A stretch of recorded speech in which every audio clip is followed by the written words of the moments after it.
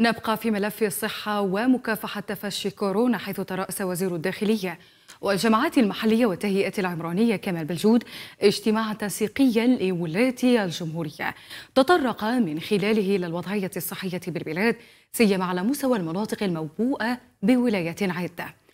الاجتماع الذي تم عن طريق تقنية التحاضر عن بعد خالص إلى ضرورة متابعة سير المشاريع المخصصة لفائدة مناطق الظل إضافة إلى تعزيز مكانة المجتمع المدني ومرافقة الجمعيات في نشاطاتها الوطنية والمحلية.